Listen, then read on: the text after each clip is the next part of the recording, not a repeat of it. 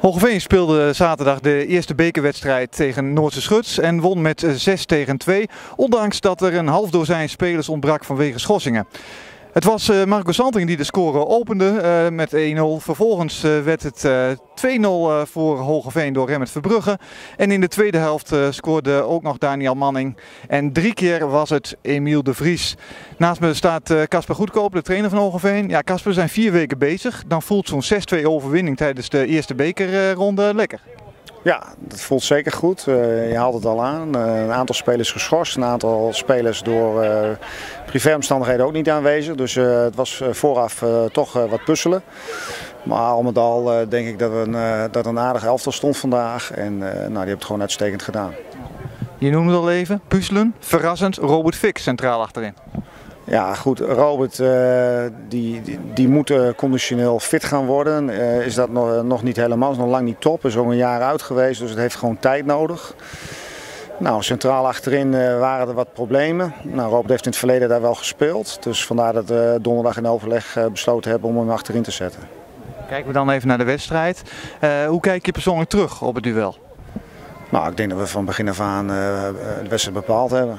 Uh, verdedigend stonden we vrij aardig. We hebben de eerste, eerste uur denk ik, uh, nou is niet helemaal waar, de eerste helft laat ik dat al zeggen. We hebben niks weggegeven en zelf hebben we toch vier, vijf kansen gecreëerd.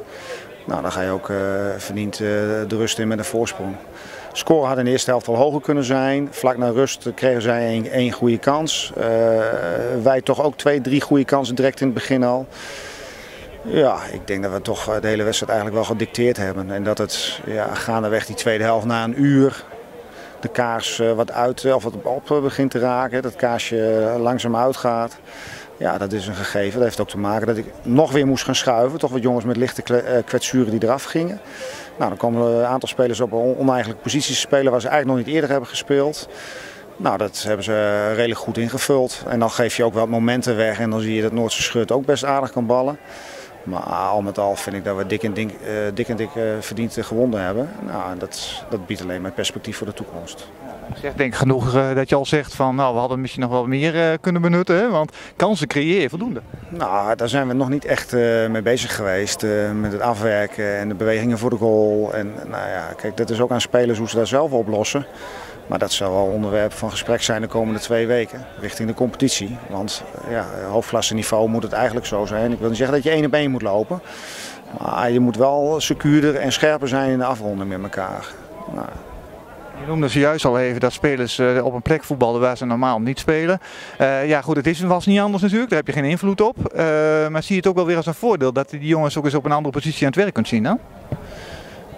Ja, je, je, kan, je ziet dan wat, wat, wat, jongens wel en wat ze niet kunnen, wat ze wel en wat ze niet beheersen. Dus wat dat aan gaat, is dat, is dat, is dat positief. Hè? De, voor de toekomst toe is dat, eh, nou ja, eh, ga je die speler dan nog een keer neerzetten? Of denk je van, nou oké, er zit ook wel toekomst in. Nou, dat zijn afwegingen die je moet maken. Dus wat dat aan gaat, eh, ben ik daar wel tevreden over. Twee spelers wil ik er even uithalen. Te beginnen even met Emiel de Vries. Die jongen die komt van een vijfde klasse, van Old Forward. En hoe je doet in de voorbereiding, ja, iedereen heeft het erover. Ja, kijk, die, die euforie eh, rond Emiel die moeten we ook wat temperen. Uh, kijk, Emiel die weet gewoon dat hij dat, dat van ver moet komen. Hè. Dat, dat, hè. Van, als je van de vijfde klasse komt, dan is het ook zo. Maar ik bedoel ook technisch, tactisch, mentaal. Hè. Hij krijgt een paar beste beuken in de wedstrijd. Niet alleen in deze, maar ook in de voorgaande wedstrijden. Ja, dat is toch wat anders dan vijfde klasniveau. Het, het handelingssnelheid zal omhoog moeten. Maar dat, dat, dat hij scherp is en dat hij weet wat de goal is en dat hij, dat goed eh, positie kan kiezen, ja, dat, dat, dat zien we allemaal wel. Daarnaast lijkt het me geen jongen die snel gaat zweven. Nee, het is een hele rustige jongen. Dus uh, wat dat aan gaat, uh, hoop ik dat uh, we bij Hogeveen nog heel veel plezier aan gaan beleven. Ja. Nou, tweede speler die ik wil noemen is Jesse de Haas. Ook die ontwikkelt zich goed, afkomt uit de A-jeugd. Ja, Jesse die is uit de A1 gekomen, samen met nog twee spelers. Die hebben de kans gekregen in de voorbereiding om zich te bewijzen. Nou, ik moet zeggen dat Jesse zich aardig ontwikkelt. Dus die, die, doet het gewoon goed als 18-jarige. Ja, er zijn meer jongens die op die positie kunnen spelen. Maar hij speelt vrij onbevangen. Dus wat dat dan gaat uh, voor de toekomst is dat een, uh, ja, is dat een, een, goede, een goede ontwikkeling. Dat de jongen vanuit uh, eigen jeugd door kan stromen richting eerste selectie. Je beschikt over een brede selectie. Um, is het dan toch een teleurstelling dat bijvoorbeeld een Jan Benjamins en een Kevin Kersies uiteindelijk afhaken en bij de zaterdag verder gaan? Nou, dat hebben we ook vooraf doorgesproken met beide spelers. Uh, beide jongens uh, zouden de kans krijgen en wilden zich ontwikkelen, wilden weten waar hun plafond lag. Nou, dan, dan is het aan de jongens zelf. ik heb ze die kansen en die mogelijkheden geboden. nou ja, Jan die kwam vrij vlot al met blessures te zitten. Kwam eigenlijk al met, met, met wat knieklachten.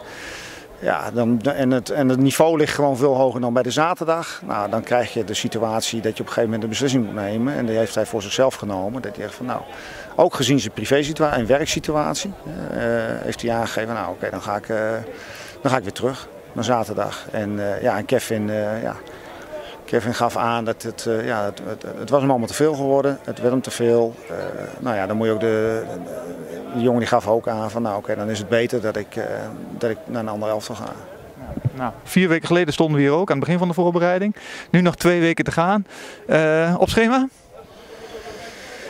Nou, kijk, op schema. Kijk, het, wil niet zeggen dat wij, uh, als we tegen Quick 20 spelen, dat is de openingswedstrijd van de competitie, dat je echt klaar bent. Uh, ontwikkelen, uh, teamprocessen, dat gaat het hele jaar door. Dus ook al winnen we van Quick 20, dan kunnen we niet zeggen van we zijn er klaar voor. We zijn in beweging, we zijn in proces, we zijn in ontwikkeling. Nou, dat heeft tijd nodig. Uh, maar we zijn op de juiste weg. Het is wel zo dat wij in de voorbereiding, dat heb ik eerder aangehaald, niet tegen andere hoofdklasses gespeeld hebben. Zaterdag hoofdklasse of een topklasse. Dan weet je echt waar je staat. Uh, tegen HZVV vond ik een goede graadmeter. Uh, nou ja, daar werd wat negatief over gedaan. Dat, dat, zag ik toch wat anders. Ik vond dat we wel redelijk goed stonden. Alleen dan gaat het, dan gaat het om accenten die je erin legt en hoe je elkaar aanstuurt binnen het veld. Nou, dat was vandaag al wel wat beter. Linies waren wel aardig compact. Nou ja, dat, het nog, dat we nog een lange weg te gaan hebben, daar ben ik van overtuigd. Volgende tegenstander is Nieuwbuinen.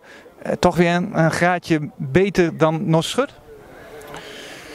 Nou ja, kijk, Nieuwbuinen is gedegradeerd uit de hoofdklasse. Er zijn een aantal mutaties geweest. Uh, ik weet niet wat voor team, hoe dat team er nu op staat. Uh, dat is eigenlijk ook niet zo interessant, omdat je toch in de voorbereiding toch naar je eigen ploeg wil kijken. Uh, nou ja, ik neem aan dat Nieuwbuinen toch wel de ambities heeft om bovenin in de eerste klasse mee te gaan draaien, mee te gaan spelen. Dus ik denk dat dat inderdaad wel een goede tegenstander is. En je kunt weer over een volledige groep waarschijnlijk beschikken. Ja, uh, nog met, uh, we moeten toch even afwachten hoe jongens uh, vandaag de wedstrijd zijn gekomen. Toch een aantal jongens met lichte kwetsuren. Morgen speelt de tweede. Dat doen we een aantal jongens mee die we, terug kunnen, die we terugkeren van een schorsing. Nou ja, dan maken we zondag of morgenavond, uiterlijk maandag, maken we bekend wie er meegaan naar Nieuwbuinen. Nou, inderdaad, zijn, de, de groep wordt weer wat groter. Dat klopt. Slotvraag even. Je zegt het al, ik moet nu straks keuzes gaan maken. Ja, nu wordt het ook kijken hoe gaan die jongens er straks mee om die buiten de boot vallen. Ja, dat noemen ze de stormfase in, in, de groepsprocessen. Dus dat, dat is wel mooi en, en dat is ook zo. Alleen ik probeer er altijd heel duidelijk en open over te zijn. En ook bespreekbaar te maken van uh, hoe iets ontstaat. En waarom ik die keuze maak. En ik vind ook dat spelers daar recht op hebben.